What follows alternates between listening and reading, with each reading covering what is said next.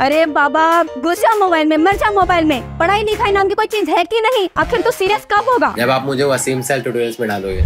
क्या? इनाई क्या मार्क्स है तुम अपनी पढ़ाई को लेके सीरियस कब होंगी? जब आप मुझे वसीम सर ट्यूटोरियल में डालोगे तब। क्या? दिन रात क्या सोता रहेगा? आखिर पढ़ाई को लेकर सीरियस कब होगा?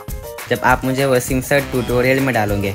अब स्टडीज़ को लेकर सब होंगे सीरियस क्योंकि वसीम सर ट्यूटोरियल्स में ही मिलेगा आपको। One on one teaching experience जहाँ पर हर एक स्टूडेंट को एक टीचर अलॉट किया जाएगा, ताकि स्टडीज़ में स्टूडेंट का फोकस बना रहे। हमारे टीचिंग मेथड को समझने के लिए आज ही हमें कांटेक्ट करें। पति पत्नी और वो के चक्कर में सुपारी देकर कराई पति की हत्या। उल्लासनगर क्राइम ब्रांच यूनिट चार ने निजामुद्दीन रेलवे स्टेशन से आरोपियों को किया गिरफ़्तार। पत्नी भी पुलिस के चंगुल में फंसी।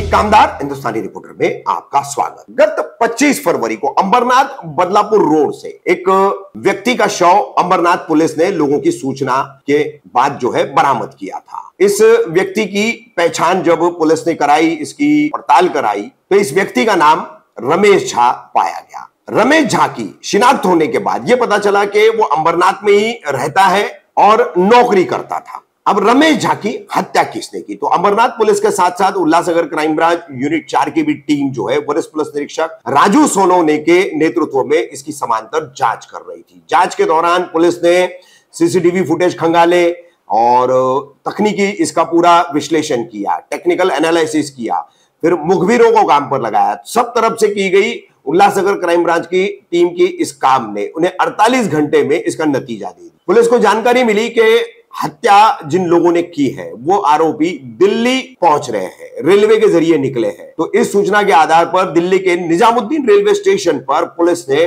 पहले से ही जाल बिछाकर यहाँ से तीन आरोपियों को गिरफ़्तार इन तीनों आरोपियों को जब यहाँ लाया गया, लाने के बाद में इनसे पूछताछ की गई। पूछताछ के बाद जो है इन्होंने चौंकाने वाला खुलासा किया। अमरनाथ में रहकर नौकरी करने वाला रमेश झा, इसकी पत्नी सुमन झा। ये दो वर्ष पहले दिल्ली से अंबरनाथ आई थी। वर्ष 2022 में वो अंबरनाथ आकर अपने पति रमेश झा के साथ, बच्चों के साथ रहने लगी। नहीं तो वो इससे पहले लगभग कई सालों तक दिल्ली में ही अपने बच्चों समेत रह रही थी। इसी दौरान उसका यहाँ पर एक व्यक्ति के साथ प्रेम संबंध हो गया, अनैतिक संबंध हो गया।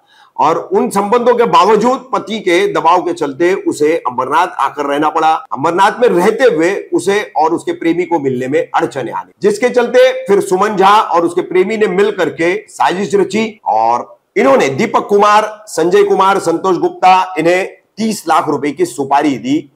रमेश झा की हत्या करने की। उसके बाद इन लोगों ने रमेश झा की हत्या की, अंबरनाथ बदलापुर रोड पर उसका शव फेंक दिया। मगर कहते हैं कि जुर्म छुपता नहीं और खून जो है वो मिटता नहीं। तो उसी के तहत ये जाँच पूरी हुई। 48 घंटों में उल्लासनगर क्राइम ब्रांच यूनिट चार ने सभी अपराधियों को दबोच लिया। है इसमें एक नाबालिग अपराधी है, जिसे जस्टिस जुवेनल बोर्ड भेजा गया है। वहीं अभी तक एक आरोपी इसमें फरार है। इस संबंध में अंबरनाथ पुलिस स्टेशन के वरिष्ठ पुलिस निरीक्षक जगन्नाथ कलस्कर ने एक प्रेस कॉन्फ्रेंस में जानकारी दी है इस पूरे हत्याकांड को लेकर के पति पत्नी और वो के चक्कर में पति की ये जो हत्या हुई है, उस संबंध में सुनिए।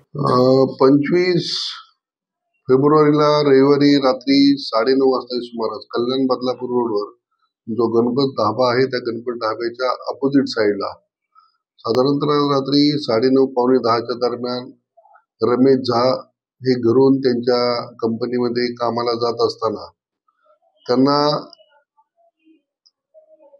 तीन ठिकाणी चाकूने वार करून जीवे ठार मारलेलं होतं.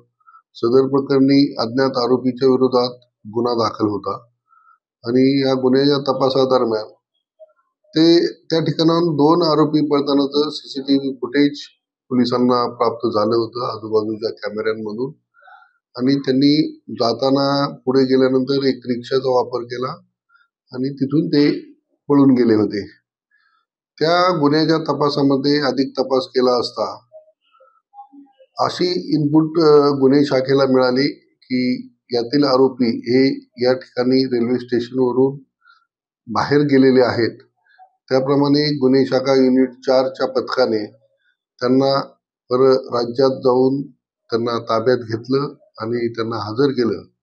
त्यानंतर सदर गुन्ह्यात जो तपास आहे त्यामध्ये अशा गोष्टी समोर आल्या की या गुन्ह्यातील जे मयत आहेत रमेश झा यांची पत्नी ही साधारणतः दहा वर्ष दिल्लीमध्ये राहत होती मुलांसोबत आणि हे कामगार म्हणून या ठिकाणी एकटेच कामावर राहत होते. त्या दरम्यान त्यांचं त्या ठिकाणी एका व्यक्तीशी धर्मवीर गुप्ता नावाच्या व्यक्तीशी प्रेमसंबंध होते. आणि त्या प्रेमसंबंधा तोडून ही महिला मुलांना घेऊन दोन हजार बावीसमध्ये या ठिकाणी आली. आणि त्या प्रेम प्रकरणातून याचा मर्डर झालेला आहे. या प्रकरणी आतापर्यंत चार आरोपींना अटक करण्यात आलेली आहे. त्यामध्ये एक बाल गुन्हेगार आहे. विधी संघर्षग्रस्त बालकाला तिकडं हजर करण्यात आलेलं आहे भिवंडीकडे. आणि बाकी दोन आरोपींचा आम्ही काल पाच तारखेपर्यंत पिशार घेतलेला आहे. आणि मृतकाची पत्नी सुमन झा जी आहे. तिला काल सदर गुन्ह्यात अटक करण्यात आलेले या गुन्ह्यामध्ये परराज्यातील जे आरोपी आले होते ते अंबरनाथमध्येच एका लॉजमध्ये दोन तीन दिवस येऊन राहिले होते. त्या ठिकाणचाही पोलीस तपास करत आहेत.